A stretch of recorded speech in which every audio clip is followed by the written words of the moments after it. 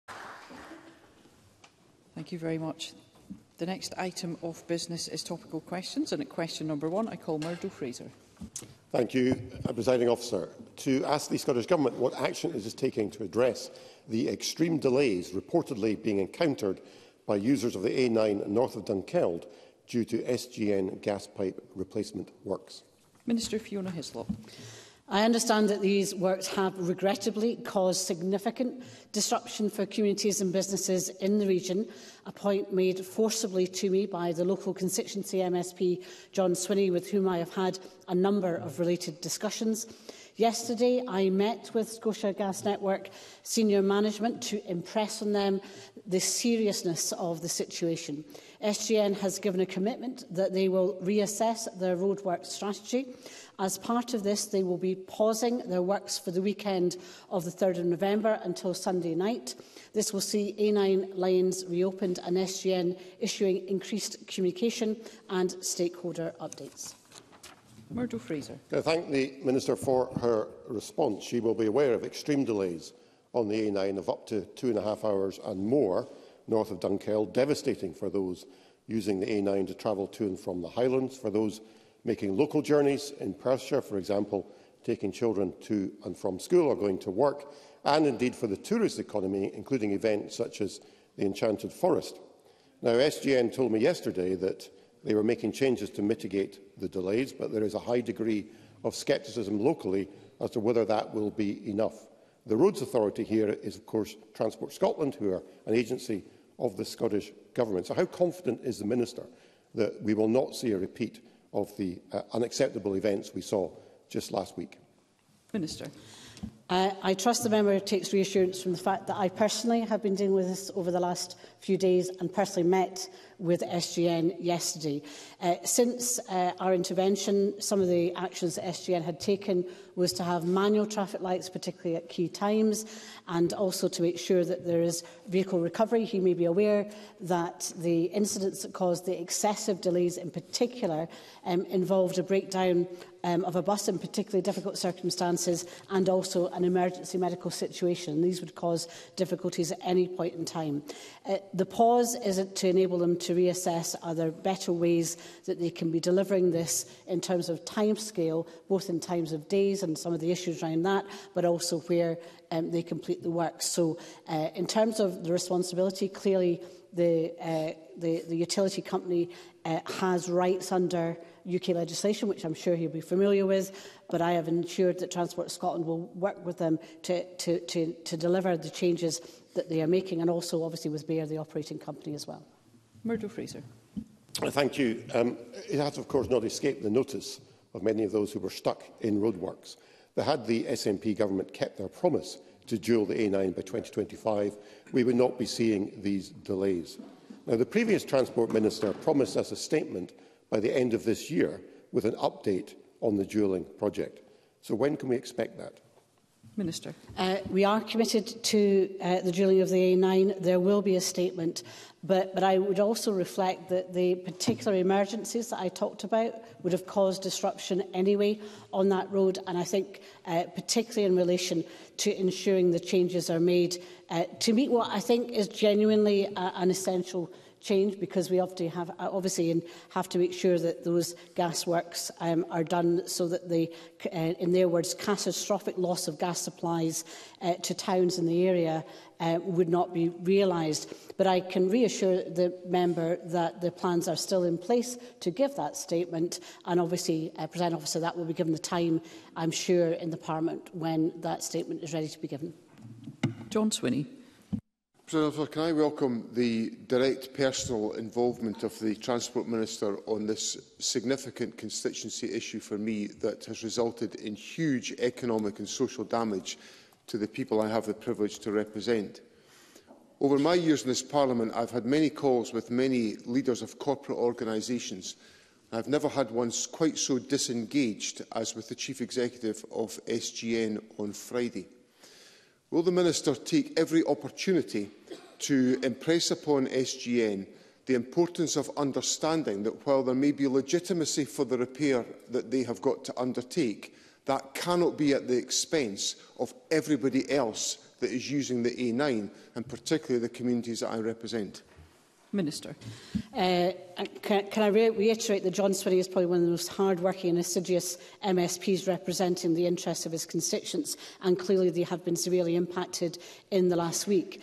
Uh, I do share concerns about SGN's approach uh, to this project and the level of uh, engagement and communication. I think they can and should have been far more proactive. I think they did uh, reach out and try to consult uh, but it's uh, one thing trying to let people know what you're doing. There's another in proactively engaging to understand the issues.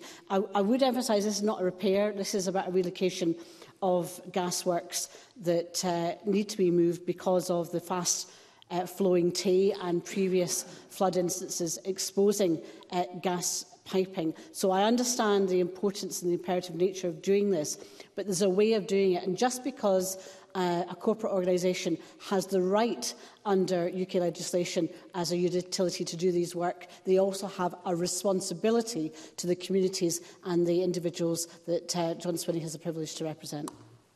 Edward Mountain. Uh, thank you, Presiding Officer, and I've listened with interest, having been one of those people that have been caught in those delays, 2 hours 30 minutes coming down, 2 hours 23 minutes going north. I know how much those roadworks are strangling the Highlands. So on the sign it says it's going to take 18 weeks, 18 weeks of this. The Minister suggested there will be a pause in the middle. Can the Minister confirm that delays of two and a half hours are not acceptable and she will not accept it because of the economic impact it is having on the Highlands, and in fact, the whole of Scotland. Minister. I, I am sure the member has uh, understood from my responses to questions how serious I do take this. I do want to reflect that the severe delays were, were due to specific circumstances and there have been actions taken in the meantime to try and address some of those um, issues. The pause will allow them to rethink in terms of timescales. They were advised, I think understandably, and we, we, we, we ensured that they, this work would not be done uh, during the summer. That was refused in the summer. This is the quietest period for any such work on the A9, but that pause will allow them to reassess timescales um, when they can do the work, where they can do the work, to, to try and alleviate the very real pressures that individuals, businesses have been facing because of these utility works. Alec Crowley. Excuse me. Can we have Mr Rowley's microphone? Yeah, thank, thank you, you, President Officer. I think the point made previously how this impacts on the whole of Scotland. I've had constituents for five contacting me mothers tell me they're having to rearrange to get their kids picked up for school, etc. So this is an important road for the whole of Scotland. I noticed that in response to Mr Swinney on Twitter, SGN talked about the minibus causing some delays and an abnormal load. Any other company that's doing this kind of work would be able to factor in that these things might happen and have the support in there to ensure it doesn't stall the traffic. So What if this company doesn't react to what you've said? What powers have you got to do more about it? And can you confirm that the statement on the 9 will come in this calendar year? Minister. Uh, as I said, the statement on the A9 um, will proceed as planned. In terms of uh, powers, existing legal powers give statutory uh, undertakers, are public utilities powers to place their apparatus in public roads. They have to coordinate that with road authorities. But to, to date, I think there it may be limits as to what we could legally do to prevent them from doing that work, should we want to do so. I do think these works, um, and I understand the rationale for these works, these works are essential. But in terms of the vehicle recovery issues, in terms of the manual uh, traffic uh, light system, and ensure also messaging, which also uh, will be uh, I suppose, communicated earlier en route to ensure that some of the other um, passenger, other, other drivers on those uh, routes with uh, passengers, for example, school children, will know further down the line how long the delays are taking. All these things are happened in the last few days as a result of the intervention of Transport Scotland um, and as stimulated by um, elected representatives contacting me, such as Mr Swinney. Mark Crossgall. Thank you. Uh, can I welcome the intervention uh, by the Transport Minister on this issue? Um, it is clear, though, that recent flooding has destroyed pedestrian access between Inver and Dunkeld, forcing people to cross the A9 on foot. Now, coupled with the extreme traffic delays that were caused locally by the SGN works, this is now causing real danger at this part of the A9. For many years, the community has called for improved lighting at this junction to improve road safety. So does the Minister agree with me that more than ever, Transport Scotland must introduce emergency flood lighting at the junctions locally to keep everyone safe? It's not wholly on the substantive question, Minister, on the So, so I would relay that impacts of Storm Babbitt has had uh, knock-on impacts elsewhere around the A9 and indeed elsewhere in Scotland that also, for example, have affected uh, routing of uh, extra-wide loads, which themselves cause issues, and that was raised with me yesterday um, as well. In terms of the River Bran, that goes under the A9, and I know there's been flooding with that that's caused issues for a local pathway. Uh, Mr Rusko had contacted me about that, and so therefore Transport Scotland are working with uh, with, with Perth and Kinross Council to see what can be done to mitigate. And they have met with the local community and indeed councillors, I think, yesterday to identify those issues. But in terms of the operational response to that, I will leave that to uh, Transport Scotland and also the relevant authorities in Perth and Kinross to determine what, they, what form they take. But I'm very aware of them and also, President Officer, again, the, the uh, consequence of recent storms, not just um, Storm uh, Babbitt, Storm Agnes. There have been further uh, disruptions elsewhere in the A9, including the slip road to Pitlochry South. So all of these compounded make it a very difficult situation that everybody's working hard to resolve. Fergus Ewing. Uh, officer, as well as the extreme economic damage to businesses locally and in the whole of the Highlands, which, if it goes on till February, will be on a devastating scale, is there not a further risk a, a risk to human life, Minister, because drivers planning the journey, expending three hours normally, finding it takes six hours, not three hours, if they're fatigued, the risk of driver error and therefore fatalities surely increases exponentially. Will the Minister therefore instruct the highly paid executives at Transport Scotland who can't subcontract responsibility to get out of their plush offices in Glasgow and get to Dunkeld and supervise this being sorted out? Minister. So the SGN are responsible for these works. They're working with Bear Scotland. They have had and will continue to have the cooperation um, and advice from uh, Transport Scotland. In terms of the delays, I think I've said the issues around the excessive delays were caused by specific incidents and actually mitigation to help support should those incidences happen in the future have already been taken.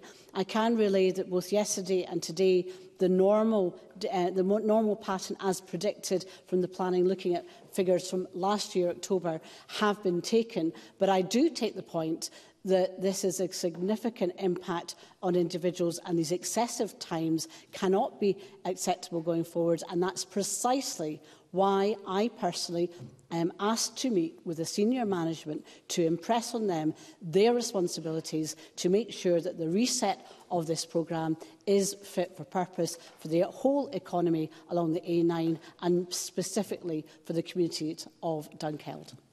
Thank you. Question number two, Katie Clark. To ask the Scottish Government whether it will provide an update on what action it is taking to resolve industrial action in schools. Minister Joe Fitzpatrick. Thank you, Presiding Officer. Um, Presiding Officer, negotiations on local government pay are rightly between COSLA, the representative of the employer, local government, and the trade unions representing the workforce. As recently as last week, COSLA have re-emphasised the importance of the Scottish Government respecting this negotiating arrangement. We worked constructively with COSLA to find a solution, providing £155 million at stage three of the budget to support a meaningful um, pay offer and providing a, a further insurances for 24-25. Uh, eh, and we also worked with COSLA to identify an additional £80 million pounds for the improved offer of the 21st of September, which was accepted by two of the three local government unions. Katie Clark. The First Minister made it clear that COSLA is not in control of its own budgets. Will the Minister meet with Unison to discuss how this dispute can finally be resolved? Minister. I, I, th I think it really is important to, to recognise the appropriate negotiating forums. However, the Scottish Government is meeting frequently with, with COSLA to continue to look what more uh, we can do to support COSLA in, in, in finding a resolution to this dispute, a, a dispute which no one wants to continue. It's, it's important that we we obviously respect the right of the trade unions to,